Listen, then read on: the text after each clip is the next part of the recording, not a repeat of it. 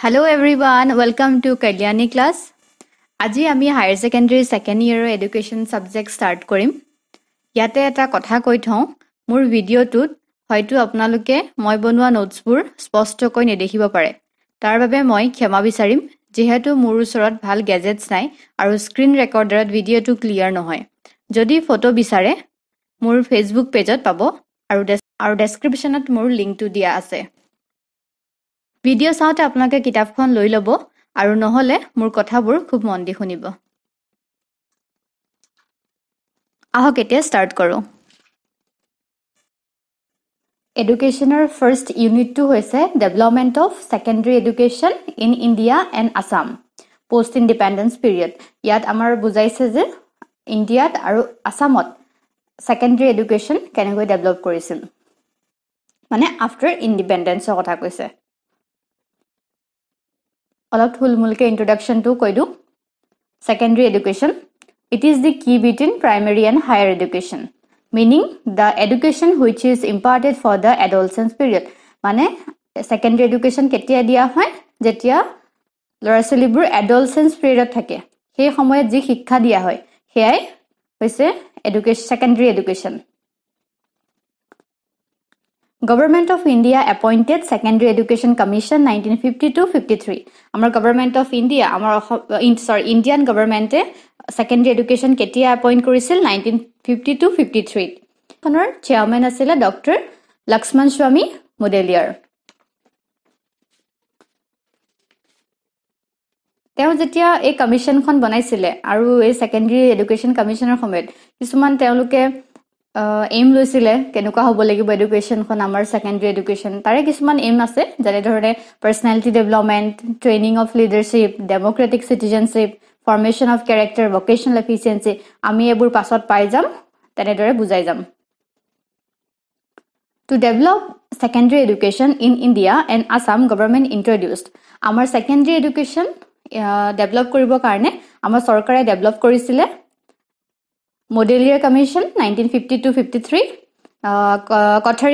nineteen sixty four sixty six national policy of education nineteen eighty six এই কমিশ্যনৰ এই কমিশ্যনৰ ইয়াৰবোৰ বহুত ইম্পৰ্টেণ্ট হয়। আপোনালোকে যেতিয়া লিখিব ইয়াৰবোৰ লিখিব নাপাহৰিব।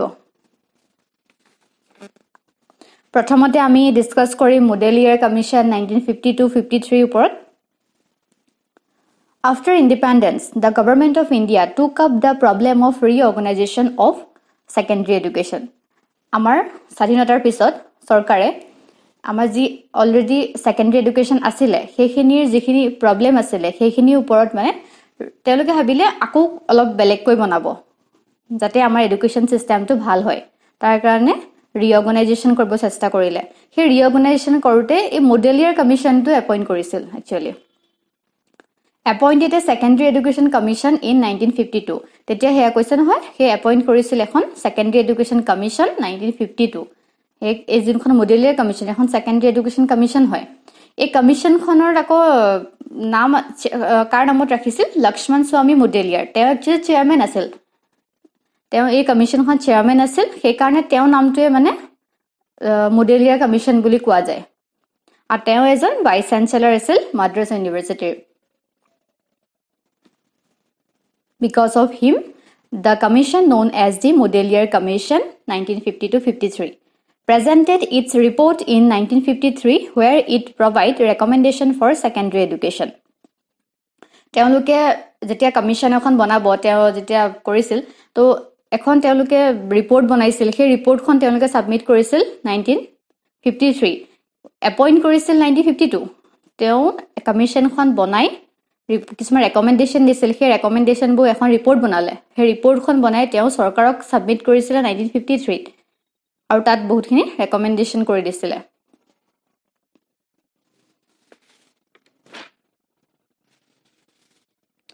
যিহেতু আমাৰ অলৰেডি ছেকেণ্ডেৰী এডুকেশ্যন চলি আছিলে। বহুত আগৰ পৰাই চলি আছে। ব্ৰিটিছৰ দিনৰ পৰাই। সেই আগ তাৰপিছত যিহেতু আমাৰ ছেকেণ্ডেৰী এডুকেশ্যন চলি আছিল ব্ৰিটিছৰ দিনৰ পৰাই চলি আছিল কিন্তু ষ্টেজ ৱাইজ আমাৰ ছেকেণ্ডেৰী এডুকেশ্যন সদায় ডেভেলপ কৰিব চেষ্টা কৰি আহিছে আজিও ডেভেলপ কৰি আছে সেই একেদৰে। সেই ডেভেলপমেণ্টৰ সময়ত মানে সেই সময়ত যি ধৰণে চলি আছিলে সেই ক'লে নহয় যে কিছুমান প্ৰব্লেম আছিলে সেই প্ৰব্লেমবোৰ আঁতৰাবৰ কাৰণে চৰকাৰে ৰিঅৰ্গেনাইজেশ্যন কৰিছিলে তাৰ কাৰণে কমিশ্যন আনিছিলে। সেই কমিশ্যনখনে প্ৰথমে কি কৰিলে কিছুমান মানে আমাৰ সেই চলি থকা ছেকেণ্ডেৰী এডুকেশ্যনখিনিত কিছুমান ডিফেক্ট আছিলে। কিছুমান প্ৰব্লেম আছিলে যোনখিনিক তেওঁলোকে আঁতৰাব খুজিছিলে। সেই ডিফেক্টবোৰ আঁতৰাই এখন ভাল আৰু বেছি মানে তাতকৈ আৰু ভাল কৰিব বিচাৰিছিল ছেকেণ্ডেৰী এডুকেশ্যনখিনি যাতে ল'ৰা ছোৱালীখিনি আৰু ভাল হয়। তো তেতিয়া মানে কি কি ডিফেক্ট উলিয়ালে? কমিশ্যনখনে সেই কমিশ্যনখনে কিছুমান ডিফেক্ট উলিয়ালে। সেই ডিফেক্টবোৰ আমি ডিছকাছ কৰিম কেনেকুৱা ধৰণৰ ডিফেক্ট আছিল কি কি প্ৰব্লেম হৈ আছিল মানে। সেই প্ৰব্লেমখিনি শুধৰাবৰ কাৰণে কমিশ্যনখনে ৰেকমেণ্ডেশ্যন দিলে। সেই ৰেকমেণ্ডেশ্যনখিনি আমি পিছত পঢ়িম আৰু ডিফেক্টখিনি প্ৰথমে পঢ়ি ল'ম।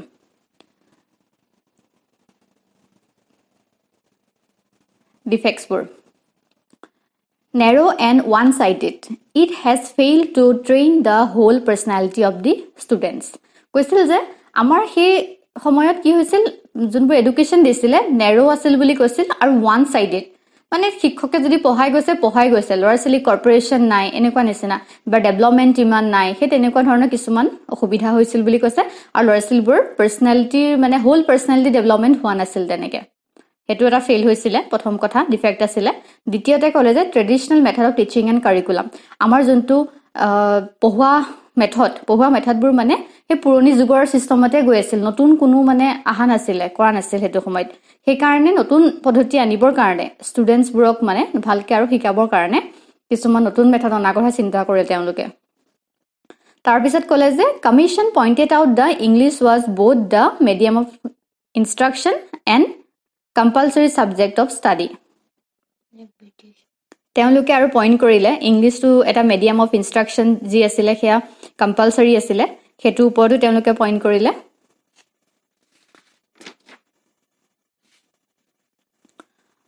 আৰু এটা হ'ল the method of teaching generally practiced fail to develop in the student their independence of thought and initiative in action কৈছে যে সেই যিখিনি আমাৰ টিচিঙৰ মেথড আছিলে যিখিনি আমাৰ মেথড চলি আছিল সেইটো সময়ত ষ্টুডেণ্টছবোৰো ইমান তেনেকুৱা ডেভেলপ হোৱা নাছিল তেওঁলোকৰ মানে তেওঁলোকৰ যোনটো মানে ভাৱ চিন্তা এইবোৰ সেইবোৰ তেওঁলোকৰ ভাল হোৱা নাছিল তেতিয়া। আৰু তেওঁ কোনো ইনিচিয়েটিভ ল'ব পৰা তেনেকুৱা নিচিনা কোনো ডেভেলপমেণ্ট অহা নাছিল তেওঁলোকৰ।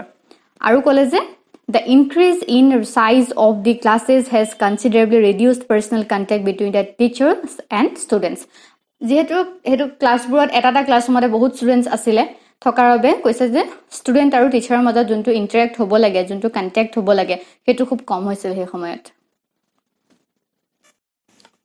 Aims of the secondary education এই এইমছখিনিত পাব যে যোনখন মডেলিয়াৰ কমিশ্যন হয় তেওঁলোকে যি যি ৰেকমেণ্ডেশ্যন তেওঁলোকে কি এইম লৈছিল সেই এইমখিনি ডিছকাছ কৰা হ'ব। Recommendation of Mudaliar commission nineteen fifty two fifty three তেওঁলোকে সেই ডিফেক্টছবোৰ উলিয়ালে উলিওৱাৰ পাছত ৰেকমেণ্ডেশ্যন কিছুমান দিলে যে আমাৰ ছেকেণ্ডেৰী এডুকেশ্যনখন এনেকুৱা হ'ব লাগিব। এতিয়া আমি কেনেকুৱা হ'ব লাগিব সেইখিনি আমি পঢ়ি যাম। কমিশ্যনখনে ক'লে যে India can be democratic republic India democratic republic হ'ব পাৰে যদিহে আমাৰ চিটিজেনশ্বিপবোৰে কিছুমান কাম প্ৰেক্টিচ কৰে।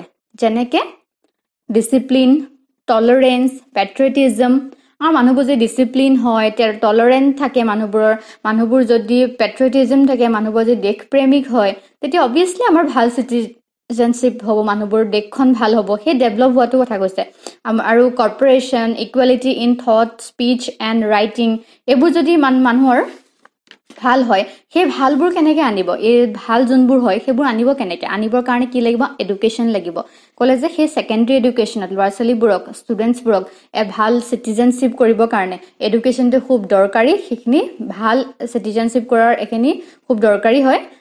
সেইকাৰণে এইখিনি ডেভেলপ কৰাৰ কথা ক'লে। Modelier Commission schools should develop and maintain all these qualities in the students. Modelier Commission কি ক'লে আৰু? স্কুলবোৰে স্কুলবোৰে মানে ডেভেলপ কৰিব লাগে এইবোৰ মেইনটেইন কৰিব লাগে। কাৰণ সেই এখন দেশৰ কাৰণে এখন ডেমক্ৰেটিক চিটিজেনশ্বিপ এখন ভাল দেশ এখন তেনেকুৱা ভাল চিটিজেন এজন হোৱাৰ এখন দেশৰ ভাল হোৱাৰ সেইখিনি সকলোখিনি ক'ত নিৰ্ভৰ কৰে? ষ্টুডেণ্টছৰ ওপৰত। আজি যদি ষ্টুডেণ্টছক ভাল শিক্ষা দিয়ে ভৱিষ্যতে তাহাঁতি ভাল হ'ব। সেই তেনেদৰে কৈছিল যে মডেলিয়াৰ কমিশ্যনে যে সেইখিনি স্কুল এখনত ডেভেলপ কৰিব লাগে আৰু মেইনটেইন কৰিব লাগে সেইবোৰ কোৱালিটি আৰু কৈছিল যে citizens with these qualities can grow' into ideal citizens capable of making the democracy a success কৈছে যে যদিহে চিটিজেনবোৰ এইবোৰ কোৱালিটি থাকে তেতিয়াহ'লে এইবোৰ গ্ৰ' হ'লে ল'ৰা ছোৱালীবোৰৰ কি হ'ব? আইডিয়েল চিটিজেন হ'ব পাৰিব তেওঁলোক। আৰু আমাৰ যি ডেমক্ৰেচি হয় এখন ভাল ডেমক্ৰেচি দেশ ডেমক্ৰেচি যোনখন হয় আমাৰ সেইখিনি ছাকচেছ হ'ব বুলি কৈছে।